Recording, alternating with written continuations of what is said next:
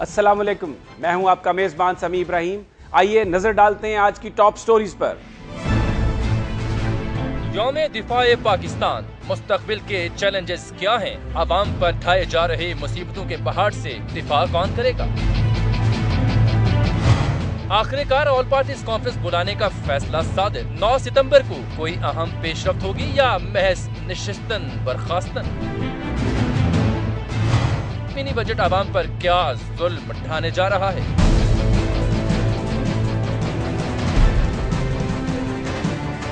आज 6 सितंबर है, योम दिफा पाकिस्तान।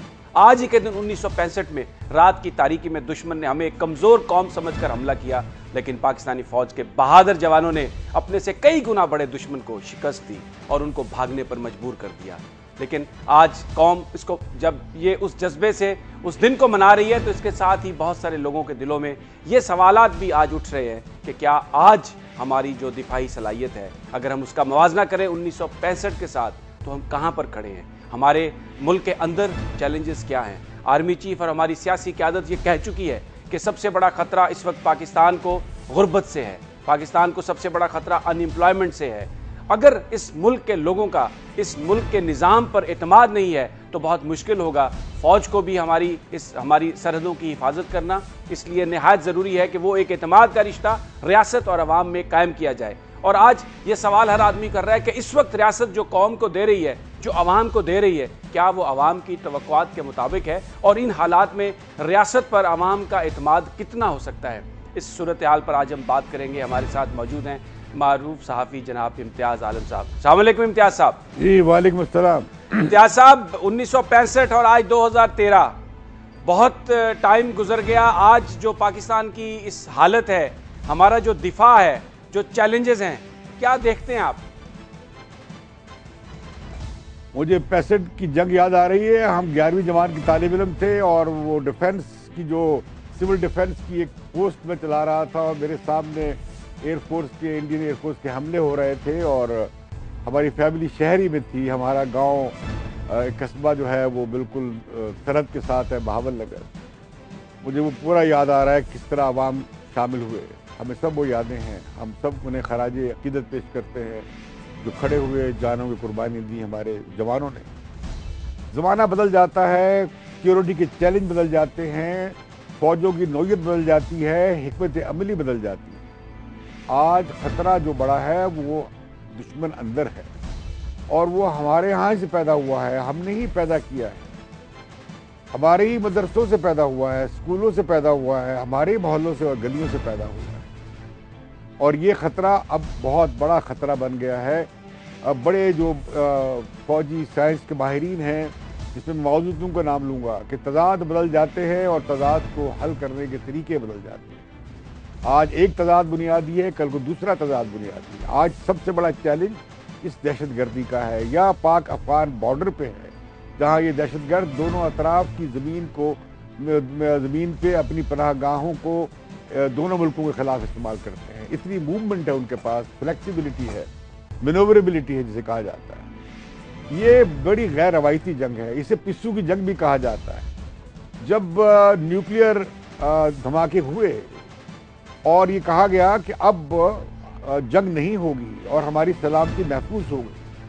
और दुनिया के बड़े माहरीन ने तजिया किया है कि अगर एक न्यूक्लियर बमों का तबादला हो गया, यानी पहली स्ट्राइक हो गई, दोनों तरफ़ से जवाब आ गया तो पूरा जनूबी, पूरा बर सग़ीर सब कॉन्टिनेंट एक जहरीली झील में बदल जाएगा। ये रहने के काबिल नहीं रहेगा।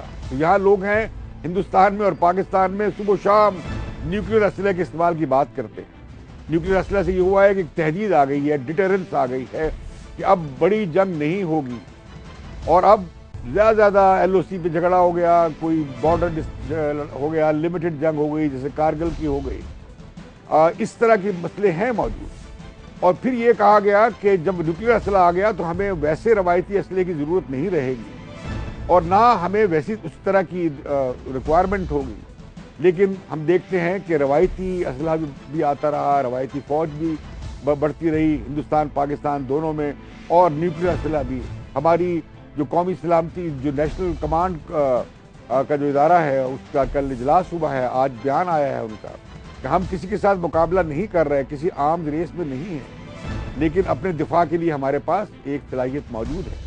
तो मैं समझता हूँ कि अब ये जो खतरा है इसके हिसाब से आ, हमारी फोर्सेस भी होनी चाहिए उसी हवाले से ट्रेनिंग होनी चाहिए उसी की तैयारी होनी चाहिए। लेकिन इम्तियाज़ साहब आपने ये तो दुरुस्त कहा कि जो रवायती असला और रवायती फौज के हवाले से बात की गई थी कि उसको कम हम करेंगे लेकिन जो इस वक्त हमारे अंदर खतरात है जो आपने ज़िक्र किया दहशत गर्दी के हवाले से उन लोगों से निपटने के लिए तो ये जो रवायती फोर्स है जिसमें रैपिड रिस्पांस टीम भी शामिल हो सकती है वही छोटा असला दरकार है उस उस खतरे से निपटने के लिए। बिल्कुल आप ठीक कह रहे हैं। हमारी अभी हुकूमत ने कहा कि वो कोई रैपिड डिप्लॉयमेंट फोर्स यानी स्क्रीव हरकत फौज कोई कोई सिक्योरिटी का अदारा बनाना चाहते हैं। मैं कहूँगा कि इसकी नया अदारा बनाने की ज़रूरत नहीं है। हमारी अफवाज के हर यूनिट में, हर सेंटर पे एसएसजी कमांडोज की बटालियंस हैं। ये लोग 20 25 तीस हज़ार लोग बनते हैं। इनकी क्यों ना एक रैपिड डिप्लॉयमेंट फोर्स शरीर हरकत फौज फोर्स बनाई जाए, जिसे हम जहाँ भी चाहे मुल्क में दहशत गर्दी के लिए इस्तेमाल कर सकते हैं। इसी तरह जनाब पाशा साहब ने कहा था एबटाबाद कमीशन की रिपोर्ट में आई के सबक सरबराह ने कि काउंटर टेररिज्म आई का मैंडेट नहीं है, लेकिन उनके पास एक बहुत बड़ा विंग है। क्यों ना वही काउंटर टेररिज्म का विंग हम नेक्टा यानी जो नेशनल टेररिज्म के खिलाफ जो इदारा बनाया गया है, उसे ताकतवर बनाएँ कि वो उसके पास चला जाए। इस तरह ये फोर्स उससे जुड़ जाए। उसकी कमांड फौजी के पास हो, क्योंकि ये काम उन्हें आता है। ये काम बेहतर होता कि पुलिस करती, क्योंकि इस तरह की जंग में पुलिस बहुत कारगर होती है रेंजर्स करती। लेकिन क्योंकि ये खास हमारे यहाँ बहरान है, पुलिस का भी और पैरामिलिट्री फोर्सेस का भी तो हमें, हमारी फौज की जो ये नई तैयारी है इसे और बढ़ाना चाहिए इस सलाहियत को ताकि हम इसका इस अच्छा, का ये तो ये तो ये तो ये लड़ाई ये लड़ाई फकत मैदान जंग में नहीं होगी जैसे मैंने कहा पिस्सू की जंग है। आज वो यहाँ बम मारते हैं कल स्कूल में मारते हैं। अभी कल आप देखा परसों आपने बच्चों के स्कूल के बाहर बम चला दिया बन्नू में। ये फिर हेड मिलिट्री हेडक्वार्टर पर हमला करते हैं फिर ये कहीं और करते हैं। इस तरह पूरा ये तवज्जो बखेर देते हैं। यही गुरला वॉरफेयर होती है। अच्छा इम्तियाज़ साहब तो ये तो आपकी बात ये तो इम्तियाज़ साहब इम्तियाज़ साहब ये तो आपकी बात सही है। एडमिनिस्ट्रेटिव मैयर्स होने चाहिए जो लोग कानून को अपने हाथ में लेते हैं उनको रोकने के लिए। लेकिन जिन वजूहत की बिना पर ये सारे वाकयात हो रहे हैं। पाकिस्तान के मुख्तलिफ़ हिस्सों में जो इस वक्त लॉ एंड ऑर्डर की सिचुएशन है, उसकी वजूहत मुख्तलिफ़ हैं। गुर्बत अपनी जगह पर एक बड़ा फैक्टर है। फिर एक्सप्लाइटेशन भी अपनी जगह पर एक फैक्टर है। तो क्या ये ये ज़रूरी ये भी नहीं होगा कि वो जो असल मसाइल हैं, जैसे गुर्बत का मसला है, बेरोज़गारी का मसला है, या किसी के हकूक़ का मसला है कम्यूनिटी का, उसको भी पूरा करने के लिए पूरे जो रियासती वसाइल हैं, वो बरूए कार लाए जाएँ, क्योंकि सिर्फ़ गोलियाँ मारकर या एडमिनिस्ट्रेटिव मैयर से तो आप ये नहीं रोक सकते। मैं आपको कहूँगा मैं पूछना चाहता हूँ कितने गरीब दहशत गर्दी का रास्ता अख्तियार करते हैं? और मुल्कों में भी है हम। लेकिन हमारे यहाँ जो दरसी निज़ाम है जो तालीम दी जाती है जो मदरसों में पढ़ाया जाता है जो फिरका वराना तासुब पढ़ाया जा रहा है मज़हब के नाम पे दीन को टुकड़ों टुकड़ों में बांट दिया गया है। आज कोई उम्मा नहीं रह गई आज की उम्मत नहीं रह गई। हर एक की अपनी अपनी उम्मत है अपने अपने अमीर हैं अपनी अपनी उनकी पूरा फिका है और पता नहीं क्या कुछ उन्होंने अपने नजरियात बना लिए हैं, फिरका वाराना। एक तो बड़ी फिरका वाराना लड़ाई है, ये भी एक नजरियाती लड़ाई बन गई है और उससे ही दहशत गर्दी के लिए लोगों को तैयार किया जाता है। फिर ये जो हमारे कबायली इलाकों में जो खला पैदा हुआ रियासती गुर्बत तो और इलाकों में भी है, लेकिन फाटा में क्यों ज़्यादा इसका मरकज़ बन गया? या जनूबी पंजाब में क्यों उसका मरकज़ बन गया? उसकी वजह क्या है कि जहाँ पे खला पैदा होगा, जहाँ महरूमी होगी, वहाँ ऐसा माहौल बनेगा और बच्चे इस तरह चल पड़ेंगे, जैसे बलूचिस्तान में हुआ कि मुसलसल कार, फौजी कार्रवाइयों के नतीजे में, माजी में और चला सिलसिला जिससे बलोचों में एहसास महरूमी हुआ और नौजवान उस पर चल पड़े। मैंने देखा कि बलूचिस्तान में तालीमी इदारे ही ख़त्म हो गए। तो बच्चे कहाँ जाएँगे? उन्हें आपको स्कूल देने पड़ेंगे, स्पोर्ट्स देनी पड़ेगी, कल्चर देना पड़ेगा, उन्हें तकरीरी मुकाबलों में लाना पड़ेगा, खेलों में लाना पड़ेगा। अगर उन्हें मुस्बत सरगर्मियों में नहीं लाएँगे, वो उस तरफ़ चले जाएँगे। सिर्फ़ गरीबों के बच्चे नहीं जा रहे हैं। इसमें तो बड़े पढ़े लिखे डॉक्टर्स इंजीनियर वो भी जा रहे हैं। फिर ये जो मुस्लिम दुनिया के जो हालात बन गए हैं, आप देखिए कितने खौफनाक हालात हैं। अब मुस्लिम मुस्लिम से लड़ रहा है। सीरिया में कौन लड़ रहे हैं आप? इसमें क्या वहाँ पे अमरीकी फौजें लड़ रही हैं सीरियस के खिलाफ? सीरियस और सीरियस लड़ रहे हैं। लीबिया में, लीबिया के लोग आपस, इजिप्ट में, आप देखते हैं आपस में लड़ रहे हैं। एक खौफनाक आग लग गई है, लगा दी गई है, या हमने खुद लगाई है। इसके जो भी इसबाब है। पूरी मुस्लिम दुनिया में ही रहा है। पाकिस्तान में भी ये खतरा है कि इस तरह फिरकों में लोगों को बांट कर और लोगों को ग्रुप में बांट कर नस्लियाती तकसीम बनाकर लोगों को आपस में लड़ाया जाए। तो मैं समझता हूँ इसके लिए बहुत बड़ी लड़ाई नजरियाती सतह पे है, सियासी सतह पे है, सकाफती सतह पे है, तालीमी सतह पे है, इलमी सतह पे है। उसके अलावा हम, हमें अपने सिक्योरिटी के तस्वर को बदलना होगा। ह्यूमन सिक्योरिटी है फ़ूड सिक्योरिटी है। जैसे आप कह रहे थे, गरीबी का मसला सेहत की सिक्योरिटी है। ये सब एनवायरनमेंट की सिक्योरिटी है ज़िंदगी की सिक्योरिटी है। इस मुल्क में तो अब ज़िंदगी की सिक्योरिटी भी नहीं, नहीं रह रही। तो मैं समझता हूँ कि अवाम तभी आएँगे अपनी अफवाज के शाना बशाना खड़े होंगे और हुकूमत के कि जब आप लोगों को बाकी सिक्योरिटी भी फराहम करे पूरे इंसाफ भी दें अदालतों में इंसाफ हो रहा हो पुलिस में इंसाफ हो रहा हो बेइंसाफी ना हो रही हो ये कराची में क्या मामला है? आप देखते नहीं जो कराची में लोग ये जो गैंग वॉर हो रही है ये लोग ये धंधा बन गया है कारोबार बन गया है ऐसा होता है। लेकिन अगर पुलिस अच्छी है इंतजामिया अच्छी है लॉ इन्फोर्समेंट एजेंसी है वो अगर सही तरीके से सबके खिलाफ कार्रवाई करें जैसे कराची के बारे में फैसला किया गया है तो फिर यकीनन तो हालात बेहतर खड़े होंगे। जैसे हमने पैंसठ की जंग में देखा। दुरुस्त कर रहे हैं कह रहे हैं बात आप इम्तियाज़ साहब। बहुत बहुत शुक्रिया जो कह रहे थे कि पाकिस्तान को जो चैलेंजेस हैं वो सिर्फ़ बाहर से नहीं, वो अंदर से भी हैं। और अगर यहाँ पाकिस्तान को एक मज़बूत मुल्क बनाना है तो जहाँ पर आपको लॉ इन्फोर्समेंट को मज़बूत करना है, वहीं पर आपको लोगों के अंदर जो एहसास महरूमी है, जो कमी है, उसको भी दूर करना है। और सारा काम ये इंसाफ से करना होगा। विदाउट किसी डिस्क्रिमिनेशन के अगर होगा तो फिर ही पाकिस्तान मज़बूत होगा और मुस्तकबिल के चैलेंजेस से निपट सकेगा।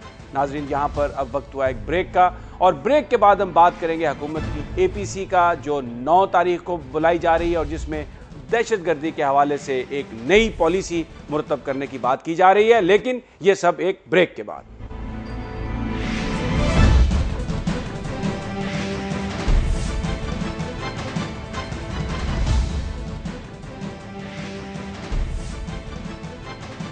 एक अहम मसला दहशत गर्दी का जो पाकिस्तान जिसका शिकार है और अब हुकूमत ने ऐलान किया है कि 9 सितंबर को जो आल पार्टीज़ कॉन्फ्रेंस जिसका पहले ऐलान किया गया था वो मुनद होगी और इस वक्त दावतनामे दिए जा रहे हैं और पाकिस्तान की जो सियासी क्यादत है ऑलमोस्ट तमाम सियासी जमातों ने इस बात पर रजामंदी का इजहार किया है कि वो आल पार्टीज़ कॉन्फ्रेंस में शरीक होंगी, जिसमें 9 सितंबर को बताया जाएगा। सियासतदानों को पहले ब्रीफिंग होगी कि क्या सूरत हाल है और फिर उसके बाद पाकिस्तान की सियासी क्यादत ये फैसला करेगी कि इस मसले को किस तरह से निपटा जाए, एक वाज तकसीम ज़रूर है सियासतदानों में। कुछ लोग इसे अमरीका की जंग कहते हैं, कुछ का ये कहना है कि ये यकीन अमरीका की जंग थी शुरू में, लेकिन अब इस वक्त उसका शिकार पाकिस्तानी है तो पाकिस्तान की भी यह जंग हो गई है। लेकिन बहरहाल, किस तरह से निकलेंगे इस जंग से, ये फैसला करेगी सियासी क्यादत। आज इस पर हम गुफ्तु करेंगे। हमारे साथ मौजूद हैं तहरीक इंसाफ की रहनुमा अंदलीब अब्बास और इसके साथ जे यू आई के सेनेटर हमदुल्ला और ए एन पी के सेनेटर जायद खान। लेकिन मैं अपनी गुफ्तु का आगाज़ करूँगा। वफाकी वज़ीर इतलात नशियात जनाब सेनेटर परवेज़ रशीद साहब के साथ।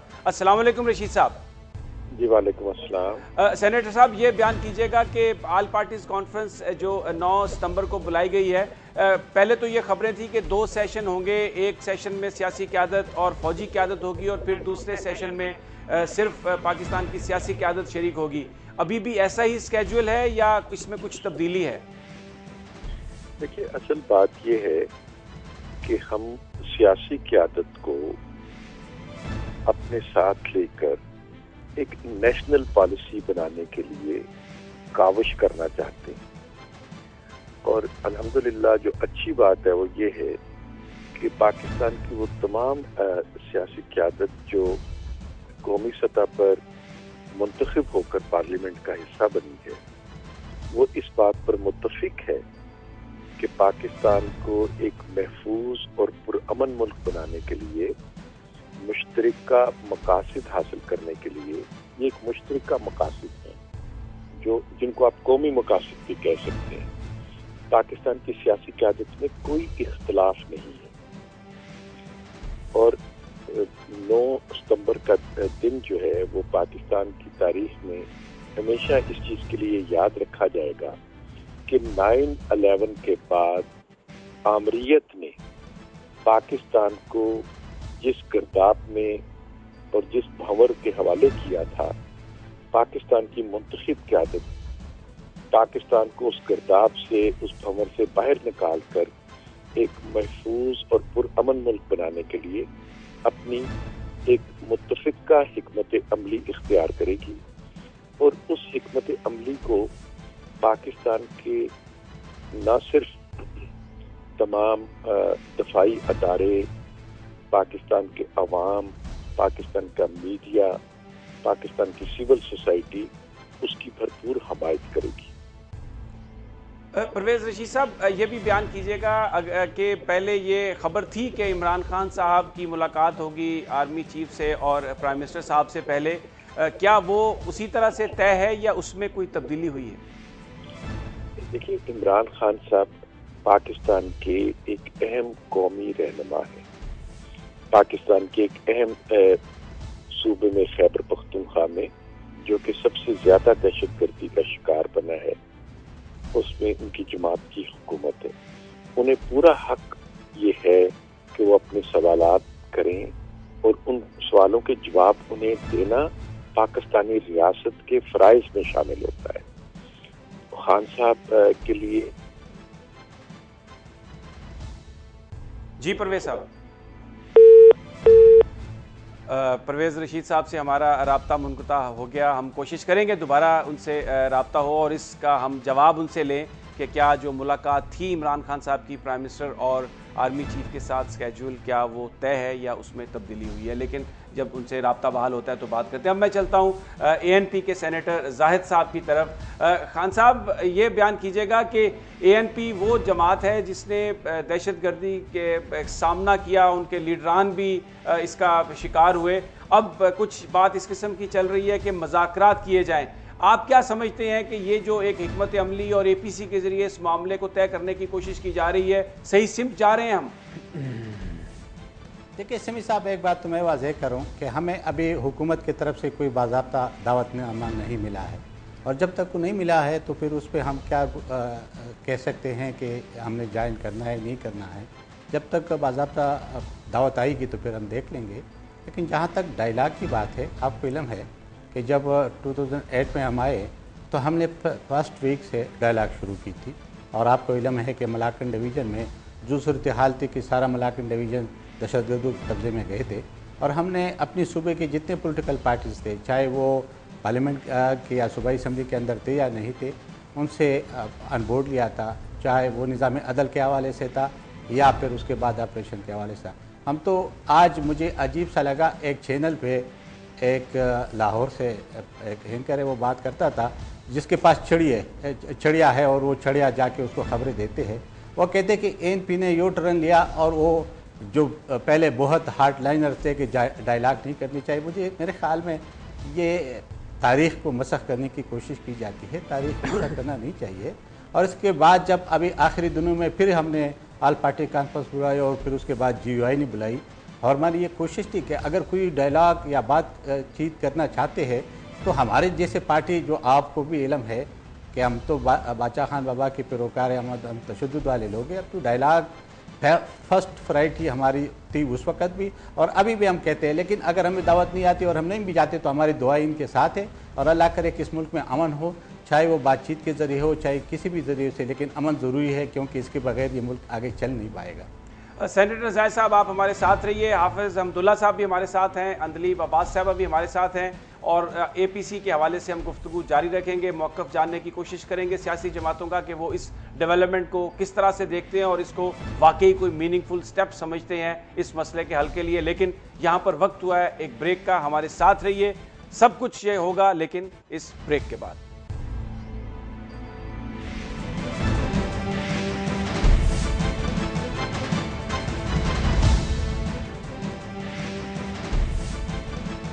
Welcome back. बात हो रही है ऑल पार्टीज़ कॉन्फ्रेंस की। दहशत गर्दी के हवाले से एक हल ढूँढने की कोशिश की जा रही है। 9 सितंबर को ऑल पार्टीज़ कॉन्फ्रेंस बुलाने का फैसला किया है हुकूमत ने। मैं अब चलता हूँ अंदलीब अब्बास साहबा की जानब, जो तहरीक इंसाफ की रहनुमा है। अंदलीब साहबा अभी जाहिद साहब ने बताया एएनपी की तरफ़ से कि उन्हें तो अभी दावतनामा नहीं मिला। आप इस सारे प्रोसेस को किस तरह से देखती हैं? क्योंकि जब कराची के हवाले से ए पी सी वहाँ पर मुनद की गई तो आपकी जमात को भी नहीं मिला था दावतनामा। जी, समी साहब कुछ मुझे लगता है कि इनकी या तो जिससे ये दावतनामे भिजवाते हैं और वापस लेते हैं और नोटिफिकेशन देते हैं और उसमें शायद कोई गड़बड़ है क्योंकि पहले फारूक सत्तार साहब को दावतनामा दिया गया और फिर कहा कि नई दावत दी गई, फिर वो नाराज़ हो गए तो फिर उनको कहा कि वन टू वन कर लें। उसके बाद हमें कहा गया जी कि दावतनामा जा चुका है, फिर कहा गया कि नहीं सूबाई लेवल पर गया था और हमें मिला जब पता चला कि जी एपीसी हो रही है, तब यू नो तब तक तो हमें नहीं मिला था। आज सुन रहे हैं कि एएनपी को इन्होंने दावतनामा जो है वो नहीं दिया और अभी जो बयान आया था कि जी पहले मीटिंग खाली सियासी लीडर्स की होगी फिर एपीसी होगी विद ऑल पार्टीज़ तो मेरा ख्याल है कि अभी भी कुछ कन्फ्यूज़न है या कुछ प्रेशर का शिकार है बिकॉज़ uh, ये जो चीज़ें हैं इतनी बड़ी बड़ी जैसे कराची में आपने देखा जुल्फ़िकार चीमा साहब को उन्होंने अपॉइंट किया फिर वापस ले लिया। ये जो हमारे दुश्मन होते हैं, या जो हमारे ऊपर अटैक करने वाले होते हैं, उनके लिए ये बड़ी खुशाइन बात है। क्योंकि ये शो क्या करती है कि जी कन्फ्यूज़न है, ये शो करती है कि जी प्रेशर के नीचे आके जो हैं वो बयान चेंज हो रहे हैं और फैसले चेंज हो रहे हैं। तो मेरा ख्याल है कि इनको आपस में बैठ के पहले फैसला कर लेना चाहिए, क्योंकि दो दिन तो रह गए किसको बुलाना और कैसे बुलाना और किस प्रोटोकॉल से बुलाना ये नहीं कि जी हम बहुत बड़े हैं तो हमें आप पर्सनली बुलाएँ। लेकिन इंश्योर कराना कि जी दावतनामा टाइम पे मिल गया और सही बंदे को मिला और रिस्पॉन्स आ गया ताकि ये जो फिर क्या सराइयाँ होती हैं और फिर मीडिया के अंदर ये बातें होती हैं कि जी आप तो मानते नहीं आप रूठ गए हैं आप तो बा, बात ही नहीं कर तो ये अनफेयर होता है क्योंकि अगर फॉल्ट उनके पार्ट पे है जहाँ उनकी क्लैरिटी नहीं है कि कब किसको बुलाना है और किसको वापस लेना है दावतनामा दे के तो ये फिर बड़ा क्लियर और ट्रांसपेरेंट होना चाहिए। अच्छा अंदलीप साहब ये बताइए कि इस वक्त क्या पोजीशन है जो एक तय किया था हुकूमत ने रजामंदी का इजहार किया था कि इमरान खान साहब आर्मी चीफ से भी मिलेंगे वजी अजम से भी मिलेंगे। वो स्केड्यूल अभी तक तय है या उसमें तब्दीली होगी या खान साहब बगैर जनरल क्यानी से और वजी अजम से मिले ए पी सी में जाएँगे? समी साहब आपको याद होगा कि खान साहब अभी उनकी फॉल हुई थी तो मियाँ साहब उनसे मिलने आए थे उनकी और क्यानी साहब ने भी फ़ोन किया था। दोनों पे आपको याद है कि उन्होंने कहा था कि जी, अगर हमें नेशनल पॉलिसी बनानी है और हमें पता ही नहीं कि कौन से ग्रुप क्या कर रहे हैं, किस ग्रुप को क्यों नहीं टच किया जा रहा और हमारे क्या क्या माहे हैं अमेरिका से, हम कह रहे हैं जी, हमारा कोई माहा नहीं है। मुशरफ साहब महीना पहले कह रहे हैं जी, हमारा माहा है। तो कम अज़ कम पहले जो हम नहीं कर सकते और नहीं किया, उसको क्लैरिफाई करें ताकि पॉलिसी और स्ट्रेटजी उसके मुताबिक बने कि what is what we can do what we can do इस पर अग्रीमेंट हुई। उसके बाद जब खान साहब इलाज के लिए गए थे उन्होंने कहा जी, हमने एपीसी इसलिए नहीं की क्योंकि वो इलाज के लिए चले गए खान साहब को वापस आए, डेढ़ महीना हो गया और एपीसी नहीं हुई। क्लैरिफाई हो गया कि जी, इनका अपना होमवर्क नहीं था। अभी भी जो हमें कहा गया है, वो ये कहा गया है कि इससे पहले कि एपीसी होगी कैनी साहब के साथ और प्राइम मिनिस्टर के साथ मीटिंग होगी, जिसपे ऑल द थिंग्स जो कि आप ओपन पब्लिक में नहीं ला सकते, उस पर एक डिस्कशन होगी। और उसके बाद एपीसी होगी। और यही बात है जिसकी वजह से हमने कहा कि बिल्कुल ठीक है we want to be part of it क्योंकि अगर एनालिसिस नहीं है तो स्ट्रेटजी नहीं बनती। अगर एनालिसिस स्ट्रेटजी दोनों इकट्ठे हो रहे हैं तो ये खुशाइन बात है। ठीक है, अंदलीप साहब, हमारे साथ रहिए। अब मैं चलता हूँ जनाब सेनेटर हाफिज हमदुल्ला साहब की जानब। हमदुल्ला साहब, आपकी जमात का एक वाज मौकफ है कि मज़ाक से मामला हल होना चाहिए। ये बयान कीजिएगा कि इतने सारे ग्रुप्स हैं और मुख्तलिफ़ इलाकों में जो डिमांड्स हैं, ग्रुप्स की मुख्तलिफ़ हैं। मसलन बलोचिस्तान में कुछ बलोच इंसर्जेंट्स भी हैं के पी के में कुछ तालिबान, कुछ मिलिटेंट हैं रिलीजियस लोग हैं। बताइए कि ये किस तरह से तय होगा अगर मुजाकर का फैसला हुआ और आप क्या प्रपोजल लेके जाएँगे? आपकी जमात क्या कहेगी? बसमीम बहुत शुक्रिया। सबसे पहले तो सभी इब्राहिम साहब, हम इस आल पार्टीज़ कॉन्फ्रेंस की जमीयत इस्लाम की प्लेटफार्म से इसको खुश आमदीद कहते हैं। क्योंकि जमीयत इस्लाम का मौक़ नैन अलेवन से लेकर आज तक अमेरिका को भी, हमारी जो हकूमत डिक्टेटर की सूरत में थी, पार्लियामेंट का खात्मा करके, उनको भी यही था कि आप दहशत गर्दी के ख़िलाफ़ जो सब में शामिल हो कि अमेरिका के साथ, लिहाजा दहशत गर्दी का खात्मा बंदूक और बारूद से मुमकिन नहीं है। आपने मुजाकर करनी होगी। अमेरिका ने भी 11-12 साल के बाद तालिबान से मुजाकर की आ, हाथ दी दोहा की दफ्तर आपके सामने। वही मौक़ जो जमीत इस्लाम की थी। आज वही मौक़ जमीत इस्लाम का है जो 12 साल पहले था कि मुजाकर हो मुजाकर के ज़रिए इस मसले का हल हो। क्योंकि बंदूक और बारूद तो हमने चलाई ड्रोन भी। लेकिन इसके बावजूद अमन अमान नहीं आया। जिन बजिन इंतशार, जिन बजिन कत्ल व गारत गरी, पचास हज़ार अफराद आपके मुल्क के, जिसमें फ़ौजी भी शामिल है, ये लुकम अजल बन गए। सौ अरब डॉलर आपका नुकसान हुआ। तो ये तमाम चीज़ें, इसका मकसद ये है कि इससे मसला हल नहीं हुआ। मुजाकर बुनियादी अहम पहलू है। इसलिए जमीयत इस्लाम इसकी तायद भी करती है और जमीयत इस्लाम इस ए पी सी में शिरकत भी करेगी। जैसे कि जमीयत इस्लाम ने ग्यारह मई से पहले ए पी सी बुलाया। उस ए पी सी में तमाम कौमी सियासी क्यादत बशमूल मियाँ नवाज़ शरीफ साहब पी एम एल एन की। वहाँ एक एलामिया जारी हुआ, जिसमें एक नुमाइंदा कबायली जरगा भी था कि इसकी रोशनी में हम आगे बढ़ेंगे। तो जमीयत इस्लाम ने उस ए पी सी की एलामिया की सूरत में एक खदखाल मौजूद है कि हमें आगे बढ़ना है। अब आपका सवाल है कि किससे बात करनी है, किससे बात नहीं करनी है। पहले ये कौमी क्यादत बैठ के नौ सितंबर को ये फैसला हो जाए कि हमने मुजाकर करनी है फिर उसके बाद इस पर बात होगी कि उस मुजाकरात के नुकात क्या होंगे। किस किस नुकात पर? ठीक है अब्दुल्ला साहब हमारे हमारे साथ ही रहिए। जाहिद साहब मैं आपकी तरफ़ आऊँगा। ये बयान कीजिए कि आपने कहा कि डायलॉग तो बड़ी अच्छी बात है। इस वक्त जो सूरत हाल है जिस तरह हुकूमत इसको प्रिपेयर कर रही है आप समझते हैं कि आप मजाकरात के ज़रिए उन लोगों को मायल कर लेंगे जिन्होंने पाकिस्तान की गलियों में इतना खून बहा दिया है और कोई भी आदमी उनसे महफूज नहीं है।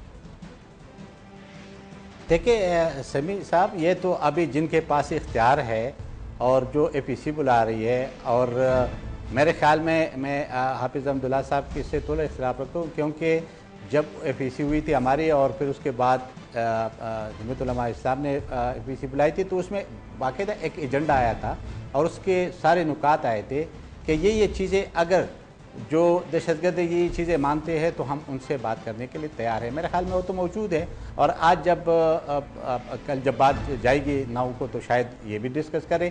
लेकिन आ, ये तो वक्त बताएगा, हम तो हमने तो मुजाकर की थी, लेकिन उस मुजाकर के नतीजा आपके सामने है कि क्या निकला और क्या नहीं निकला। बहरहाल, हमारे दुआ अभी भी है और हम डायलाग को बेहतर समझते हैं। लेकिन इसके बावजूद भी कि अगर हुकूमत जिस तरीके से अभी तक हमें कोई इतला नहीं है, ना हमें बुलाया गया है, लेकिन हमारी दुआई होंगी और हम हम तो पहले से कह चुके हैं कि जी, अगर डायलाग करनी है तो भी कर दे अगर जो भी स्टेप उठाने क्योंकि देर जितना करोगे जितना वो नुकसान होगा बिल्कुल। तीन महीने गुजर गए। हमारे साथ रहिए। तीन महीने गुजर गए या तीन महीने तक। और हमारे साथ रहिए जैद साहब अच्छा अंदलीप साहबा क्योंकि वक्त कम है मैं, मैं आपसे सिर्फ़ ये जानना चाहूँगा अगर हुकूमत इमरान खान साहब की मुलाकात को पहले फैसिलिटेट नहीं करती जैसे आपने कहा आप तरीके इंसाफ एपीसी में जाएगी? देखिए जी फ़िलहाल तो हम उनको हाँ कर चुके हैं और हमें अश्योरेंस दिलाई गई है। अगर कोई ऐसी बात होती है ऑब्वियसली पार्टी बैठेगी और ये पार्टी का फैसला होगा कि अगर लास्ट मिनट पे हमें कुछ और कहा गया और कुछ और हुआ है तो हमारा लाया अमल क्या होना चाहिए? क्योंकि बात वही है कि इतनी बड़ी अगर बात मीडिया में भी आई है और उस एश्योरेंस पे हमें कहा गया है और वादा किया गया है आई थिंक जिस किस्म की ये बात है, उस पर इनको रहना चाहिए। और अगर नहीं रहेंगे तो ये इनके अपने लिए ठीक नहीं है, क्योंकि इनका अपना इमेज जो है, वो सारे पाकिस्तान में यही जाएगा कि ये इन्होंने ट्रांसपेरेंट बात नहीं की और अगर अभी ट्रांसपेरेंसी से आप शुरू नहीं कर रहे तो एपीसी में फिर क्या ट्रांसपेरेंसी क्या ट्रांसपेरेंसी होगी? बहुत शुक्रिया अंदलीब अब्बास साहब अहमदुल्ला साहब आपका भी बड़ा शुक्रिया सेनेटर जाहिद साहब आपका भी बड़ा शुक्रिया। आल पार्टीज़ कॉन्फ्रेंस 9 सितंबर को होगी। अभी दावतनामे एएनपी को नहीं मिले और तहरीक इंसाफ भी देख रही है कि क्या इमरान खान साहब को मुलाकात का मौका मिलेगा। आर्मी चीफ और नवाज़ शरीफ साहब से उस एपीसी से पहले लेकिन बहरहाल ये एक शुरुआत है। बहुत सारी कौम पूरी देख रही है इस कॉन्फ्रेंस की तरफ़ और तो कर रही है कि इसके मस्बत नतज निकलेंगे। नाजरीन, यहाँ पर वक्त हुआ एक ब्रेक का। और ब्रेक के बाद हम बात करेंगे इकतदी अमूर के माहिर जनाब शाहिद हसन सदीकी साहब से, और उनसे ये जानने की कोशिश करेंगे कि ये जो कीमतें बढ़ रही हैं, जिससे महँगाई का एक ना थमने वाला तूफ़ान आने वाला है, पाकिस्तान के गरीब लोग इस तूफ़ान का किस तरह मुकाबला करेंगे, और आईएमएफ को खुश करने के लिए आगे चलकर हुकूमत क्या करने के प्लान रखती है। लेकिन ये सब एक ब्रेक के बाद।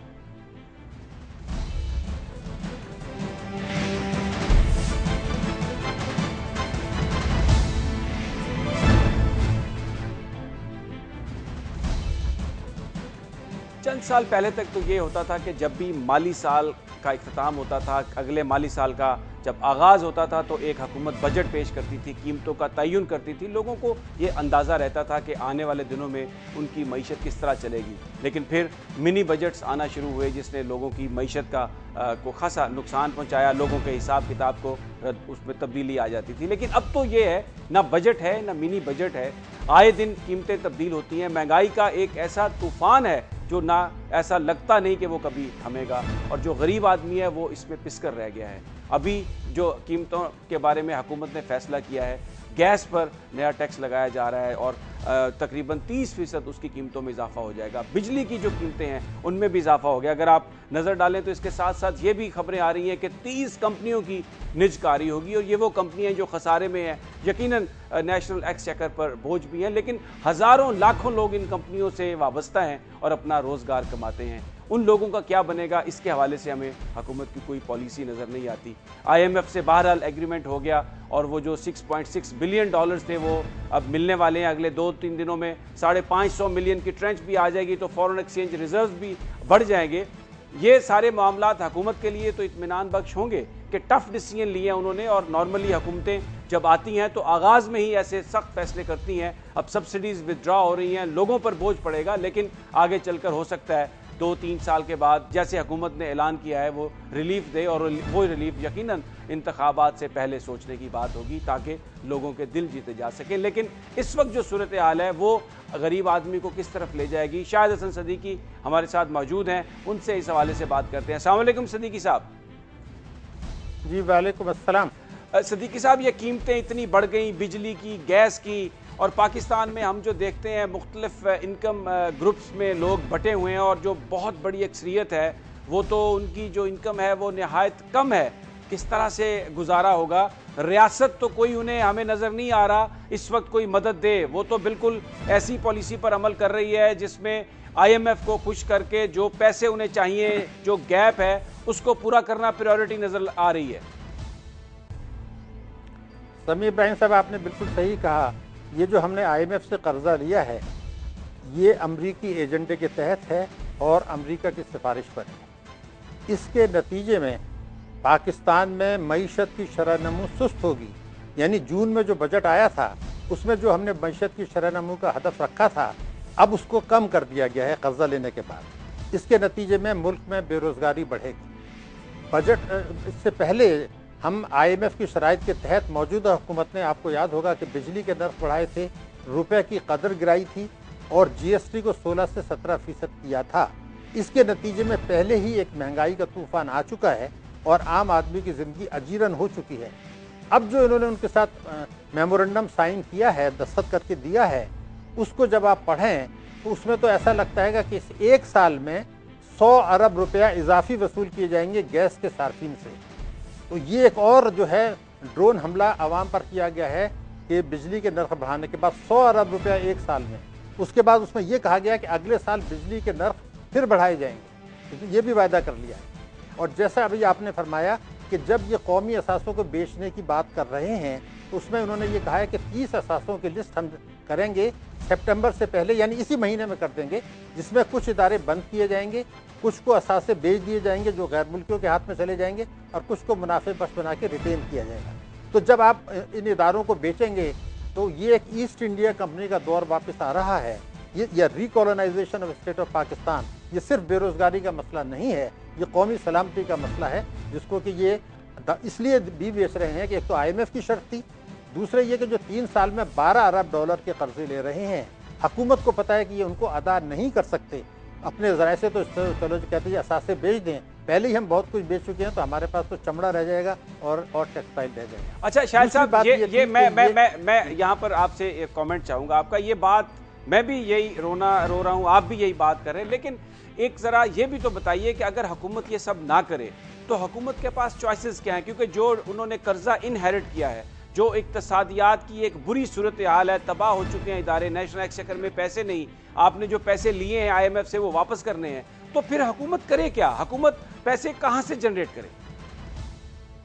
देखिए, पहली बात तो ये था कि इसका जवाब तो मैं दे दूँगा, लेकिन मैं एक और सवाल करना चाहता हूँ।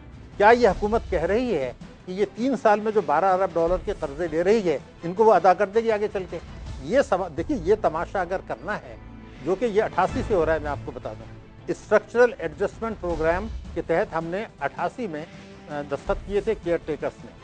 अब आप एक और चीज़ में बताऊँ तो सवाल ये पैदा होता है कि ये तो आप जो जिस तरीके से शरह नमू को स्लो कर रहे हैं और जिस तरीके से शराइ कर रहे हैं और आप स्ट्रक्चरल एडजस्टमेंट नहीं करना चाहते, यानी टैक्सों की वसूली बढ़ाने के लिए तैयार नहीं है। दूसरी बात ये थी कि आप बरामदात के बजाय शाहाना इम्पोर्ट्स करते चले जा रहे हैं तो ये तो आप पोस्टपोन कर रहे हैं, ये मसले का हल नहीं है। क्योंकि मैं आपसे बता रहा हूँ कि आज जो कर्जे ले रहे हैं, बारह अरब डॉलर के तीन साल में, इनको अदा करने के लिए फिर ये नए कर्जे लेंगे। हम असल में बुनियादी नुकता जो है वो ये है कि अब आप देखिए, इस हकूमत ने अभी गडानी में हमने कहा कि छः हज़ार छः छः सौ मीगर मेगा वाट के हम बिजली पैदा करेंगे। अरे भाई, कोयले से किया तो कोयला तो इम्पोर्टेड कोल है। हम अपने वसाइल के बजाय इम्पोर्टेड इम्पोर्ट इम्पोर्टेड कोल से कर रहे हैं। तो इनकी जितनी पॉलिसियाँ हैं लेकिन शायद साहब जो इम्पोर्टेड कोल है इस वक्त जो इम्पोर्टेड कोल है उसकी कीमत कम है। अगर हम अपने कोल को एक्सप्लोर करने की कोशिश करें तो उसमें एक तो टाइम ज़्यादा लगेगा फिर एफिशिएंसी की बात आ रही है और जो इस वक्त कोयले की कीमत है मार्केट में वो कम है। अगर हमें सस्ता कोयला मिलता है फौरी तौर पर बाहर से और उससे हम ये करते हैं तो इसमें क्या आप क्या समझते हैं क्या कबात? जी आपने बिल्कुल सही कहा कि ये सही फैसला है लेकिन अगले पाँच साल में हुकूमत ने कोई टारगेट नहीं दिया कि थर कोल के साथ कितनी बिजली पैदा होगी? मेरा जो अर्ज़ करने का मकसद है कि वो ये था कि हमने, अब मैं आपको रिकॉर्ड पे बता रहा हूँ, हमने Iran Pakistan gas gas pipeline को अबंडन कर दिया है, चाहे ये माने या माने, वो ख़त्म हो चुका है। हमने भाषा डैम जिसका 2006 में मुशर्रफ ने और 2011 में गिलानी साहब ने उसका संग बुनियाद रखा था, इसको उन्होंने डेफर कर दिया है, वो नहीं बन रहा।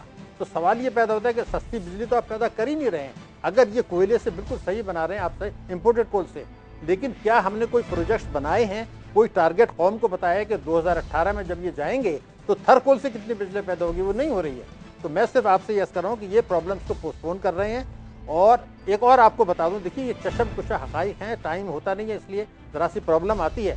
1980 से 2008 तक ये फॉर्म को गौर करना पड़ेगा। 1980 से 2008 तक 28 वर्षों में आईएमएफ ने हमें 6 अरब डॉलर के कर्जे दिए 28 साल में। और इन पाँच बरसों में जो कर्जे मंजूर हो गए हैं, वो अट्ठारह अरब डॉलर के। तो ये तो सोलह गुना ज़्यादा दे रहे हैं तो क्यों दे रहे हैं? कौन सी रिश्तेदारी हो गई है? ये हमें समझना होगा कि ये वॉर एंड टेरर के जो लॉसेज हैं, उसको कंपनसेट किया जा रहा है और हमसे ये कहा जा रहा है कि आप टैक्सों की वसूली बढ़ाने के बजाय एग्रीकल्चर सेक्टर पर टैक्स लगाने के बजाय स्टॉक एक्सचेंज पर लगाने के बजाय, आवाम पर बिजली और गैस के नर्फ बढ़ा दें। तो सवाल ये पैदा होता है कि क्या अस्सी से आईएमएफ नहीं कह रहा कि आप एग्रीकल्चर पर टैक्स लगाएँ, हर किस्म की आमदनी पर लगाएँ, लेकिन इस, इसमें भी उन्होंने इंसिस्ट नहीं किया है कि आप हर किस्म की आमदनी पर टैक्स लगाएँ, जो कि मुस्लिम लीग नून का मंशूर था, जो कि पीटीआई का मंशूर था। फिर इसमें एक और इन्होंने शरारत कर दी है, और वो ये किया है कि एन एफ़ के तहत जो सूबों को हिस्सा दिया गया था, अब इसमें ये कहा गया कि सूबों से ये कहा जाए कि वो खर्च नहीं करेंगे, और ताकि बजट खसारा नहीं बढ़े। और ये भी इसमें लिख दिया गया कि बिजली के जो नर्ख बढ़ाए गए हैं, वो सूबों की मंजूरी से, हालाँकि जो खैबर पख्तूनख्वा के वज़ीर हैं उनका बयान आ चुका है कि हमसे इजाज़त नहीं ली गई। तो ये तो एक और इख्तलाफात की बुनियाद डाली जा रही है। पाकिस्तान के वसाइल से आप आप दुरुस्त कह रहे हैं कि ये बड़ा एक इख्तलाफी मसला होगा लेकिन जहाँ तक टैक्स नेट बढ़ाने की बात है तो ये तो हुकूमत ने कमिट किया है कि एक लाख अफराद को टैक्स नेट में लाया जाएगा और उस हवाले से अब तक इक्कीस हज़ार से ज़्यादा लोगों को नोटिस भी जारी किए जा चुके हैं। तो मैं आपसे मैं आपसे मैं आपसे अर्ज़ कर दूँ तीन साल पहले ये फिगर थी सात लाख जिनको नोटिस देना था। उसके बाद चंद महीने पहले ये फिगर थी उनतालीस लाख। फिर एक लाख हुई। इसमें जो आईएमएफ के साथ साइन हुआ है, उसमें दस हज़ार कहा गया कि दस हज़ार को हमने अभी तक नोटिस दिया है। और मैं आपको बता दूँ रिकॉर्ड पर, इसलिए कि कल को आप मुझे पकड़ सकते हैं, जिनको नोटिस दिए हैं, उनसे कुछ मिलने वाला नहीं है। कुछ भी नहीं मिलेगा उनसे, ये उन्हीं लोगों को दे रहे हैं, जिनसे कि वो वो कुछ ना कुछ रेमिटेंस वगैरह दिखा देंगे। मैंने आपको पिछले प्रोग्राम में भी अर्ज़ किया था कि अगर इनको वसूल करना है तो 2000 अरब रुपए का नुस्खा मैं बता देता हूँ। और वो 2000 अरब का नुस्खा ये है कि प्रॉपर्टीज़ हैं, गाड़ियाँ हैं नेशनल सेविंग्स हैं, उनको कंप्यूटर पर डाल दें, आई उसका आइडेंटिटी कार्ड नंबर के साथ और उसको रिटर्न के साथ कंपेयर करके जो असेट्स कंसील्ड इनकम से बनाए गए उस पर आप टैक्स ले लें, उनके नेशनल सेविंग के पैसे रोक लें, क्योंकि उन्होंने डिक्लेयर नहीं किए और उस पर टैक्स नहीं दिया उस आमदनी पर। दो हज़ार अरब रुपए मिल सकते हैं, हुकूमत तस्लीम करती है कि सही तरीका है, मगर ताकतवर तबकों के मफादात को मद्देनजर रखते हुए इसको नहीं करना चाहते। नोटिस से नहीं मिलेंगे। मैं आपको रिकॉर्ड पर बता रहा हूँ। बहुत बहुत, बहुत शुक्रिया शाहिद हसन सदीकी साहब बहुत शुक्रिया। जो ये कह रहे थे कि हुकूमत को सख्ती करना पड़ेगी नोटिस से सिर्फ़ टैक्स नेट नहीं बढ़ाया जा सकेगा। सख्ती करके लोगों से पैसे वसूल किए जाएँगे और जो डेटाबेस है, उसमें जो इन्फॉर्मेशन है, उसको यूज़ किया जाना चाहिए। लेकिन यकीनन हुकूमत के लिए जो इस वक्त इकतसादी मसाइल हैं, वो बड़े शदीद हैं। बहुत सारे मसाइल हुकूमत ने इनहेरिट किए हैं। अगर वो अपने ख़जाना, खाली ख़जाने को भरने के लिए टैक्स लगाते हैं, या सब्सिडी ख़त्म करते हैं तो इससे आवाम पर बोझ पड़ता है और यकीनन आवाम चीखते हैं। जैसे हम ज़िक्र कर रहे हैं, महँगाई का ना थमने वाला तूफ़ान है। लेकिन हुकूमत के लिए प्रॉब्लम यह है कि अगर हुकूमत ये काम ना करे तो फिर क्या करे? उस खजाने को किस तरह खाली जो है, उसको भरे? बहरहाल, एक मुश्किल सूरत हाल है हकूमत के लिए भी और आवाम के लिए भी आगे चलकर देखते हैं कि जो पॉलिसीज़ है अगले चंद सालों में वो क्या समरात लेकर आती हैं। नाजरीन, ये था आज का प्रोग्राम इस हफ़्ते का आखिरी प्रोग्राम अब सोमवार को आपसे मुलाकात होगी। टॉप स्टोरी में नई खबरों और नए एनालिसिस के साथ। तब तक अपना और अपने साथियों का ख्याल रखिएगा। अल्लाह हाफिज़।